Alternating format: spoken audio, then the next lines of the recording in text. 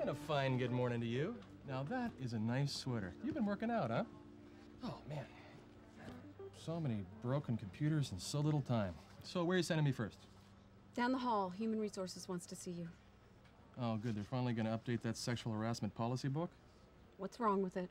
All that talk about hostile environments, emotional toll on the victims, cost to the private sector, blah, blah, blah. I mean, they make it sound like sexual harassment is still the problem it was 20 years ago. Well, it is. Oh, come on. Reported incidents are way down. Well, actually, they're up.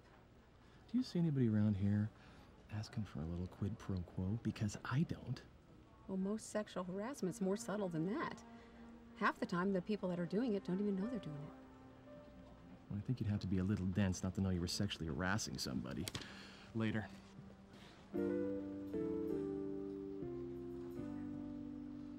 But I've had complaints, Frank. Now, you know me. I'm not like that. Just because you didn't intend harm does not mean you didn't cause harm. Man, I'm stunned. I, I, I really didn't know what I did. Uh, it was a state job. I finished transferring data to the new system, and then I gave Connie the invoice like I always do. So I've transferred the data. That was no problem. So, how's life treating you with that new baby of yours? Ah, I'm in love. What can I say? Well, it shows. You know, I have to admit, I've never seen a woman lose her pregnancy weight as quickly as you have. Except where you're supposed to be big, but I mean, your stomach is like gone. You're looking good. Okay, hold it right there. Well, maybe that was a little personal. But sexual harassment? No way. Maybe not from your perspective, but what about hers? It was obvious to me that he had been scrutinizing my body. Except for where you're supposed to be big, it's incredibly invasive. What other parts of my body has he been evaluating? I don't get it. I was giving her a compliment about losing her pregnancy weight. What, I can't give a woman a compliment? You said it yourself, Frank. It was too personal. You made her feel uncomfortable. Yeah, but I didn't mean to. I understand that. But E EEOC guidelines uphold a standard of proof that sexual harassment is in the subjective perception of the victim. What does that mean? It's the victim's perspective that counts. Now, wait a minute. Hold on. Wait, wait a second. Are you saying that just because somebody files a complaint makes it automatically valid? What happens if somebody gets upset because I look cross eyed at them? Oh, that's a good point. There's something called the reasonable person standard. Would a reasonable person consider the behavior out of bounds? Now, sexual remarks and touching may not be intended to harass, but if those actions have the reasonable effect of making the person feel uncomfortable, humiliated, embarrassed, or unsafe in their working environment, they could be ruled by the court as sexual harassment. Okay, I got it. No more comments to women about their bodies because it might make them feel uncomfortable. Thanks for pointing that out. Won't happen again. Frank, Yeah. we're not done. Now, I don't understand this complaint at all. Linda is one of my favorite clients. As a matter of fact, she's the one that turned me onto that show on cable. You know, the one where the women all sit around talking about sex. I mean, I had no idea that women actually talk like that to each other. Do you talk like that? It's for me to know. Oh, come on. I know there's such a thing as a women's locker room, so what do you really say? Frank, Oh, come on, Linda. Just pretend we're in the locker room and talk dirty to me. You can do it. It's a TV show. It comes into millions of living rooms all across America every week. She told me it was one of her favorite shows. Turn it around, Frank. Look at it from her perspective. I first mentioned that show to him when a bunch of us went out to lunch one time. I wish I hadn't. He makes a comment every time he comes here, and now every time I see him, I cringe. This is a workplace. I'm trying to respect that. So now it's a crime to talk about a TV show. What's appropriate at home may not be appropriate in the workplace. What appropriate? We're talking about a private conversation between two mature adults. No, it was a workplace conversation. Look at it another way. I mean, I had no idea that women actually talk like that to each other. Do you talk like that? It's for me to know. Oh, come on. I know there's such a thing as a women's locker room, so what do you really say? Frank, Come on, Linda. Just pretend we're in the girls' locker room and talk dirty to me. You can do it. Now, hold on a minute. You're not saying that the workplace is the same as a place of worship, are you? Of course not. My point is, you have to respect the workplace. If your behavior is inappropriate somewhere else, It's probably inappropriate at work. I witnessed this the other day at the university. Give me your take on this. So it's the new hard drive and the software. It's all good for you. Thanks a lot. Excuse me, Miss Long? Mind if I ask you something? You can call me Tara, and I always have time for an A student. What's up? I've kind of hit the wall with this new programming language, and I'm wondering if you could possibly maybe tutor me or something? Okay, sure. Lots of teaching assistants tutor. I think we can arrange something. Great, that's great. My apartment isn't too far from campus. How about you come by tomorrow after class? Your apartment? Yeah. It's more quiet there. Private? Private? Why are you repeating everything that I say? Am I? I mean, I, I just thought your office would be a, a better place. Do you want tutoring or don't you? Well, maybe I don't. Like you said, I'm already an A student, right? Right now you are. What does that mean? Nothing, nothing. Just messing with you. You don't want tutoring? You don't want tutoring. Simple as that. Look, I, I didn't mean to offend you. I just. You didn't offend me. Uh, good luck pushing through that wall, and I'll see you in class. On? It sounds like she was saying she would withhold his A if he didn't go back to her apartment. Yeah, but she didn't say that directly.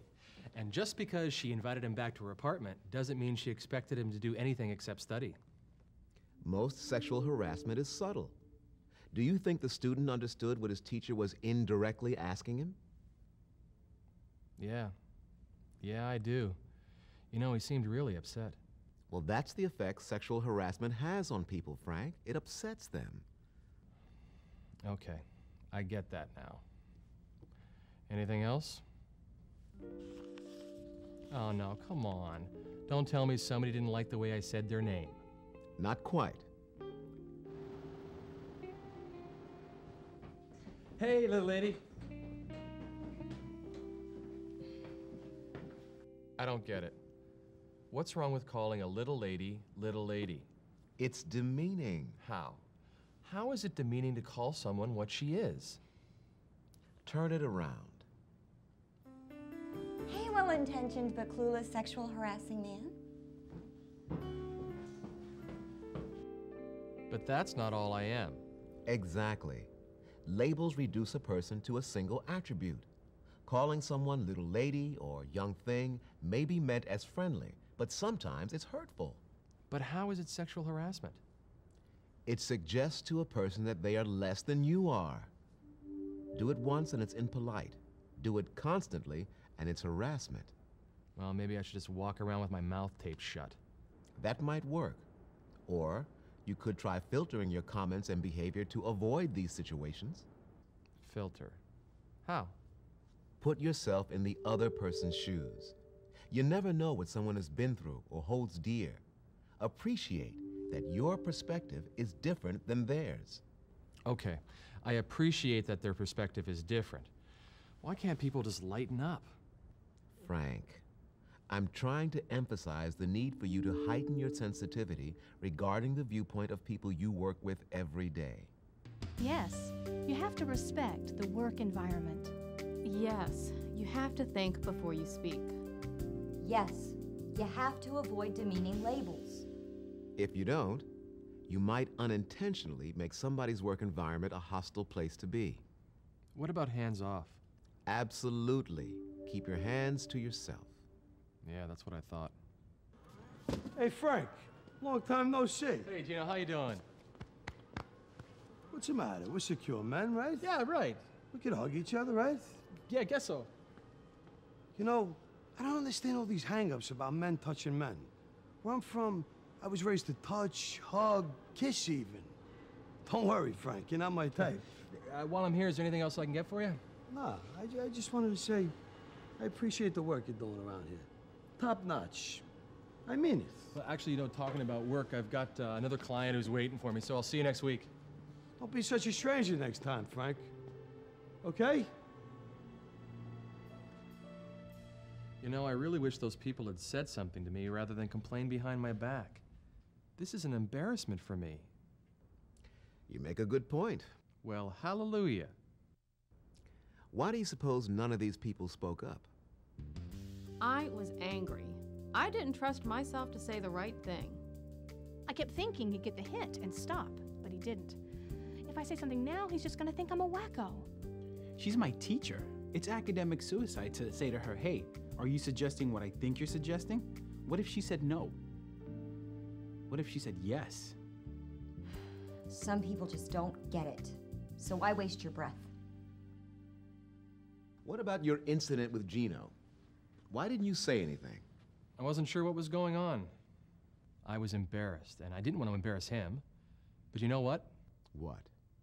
Next time, I'm gonna say something. Because when Connie and Linda and Mildred didn't say anything to me, I assumed that everything was okay, and that they understood that I meant no harm. And what should they have said? I like working with you, Frank. And because I value that relationship, I need to tell you about something that's bothering me.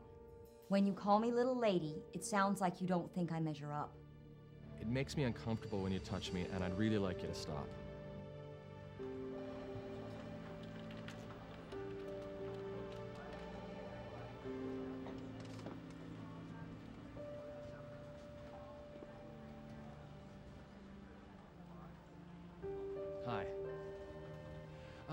Have a look at the policy book, please?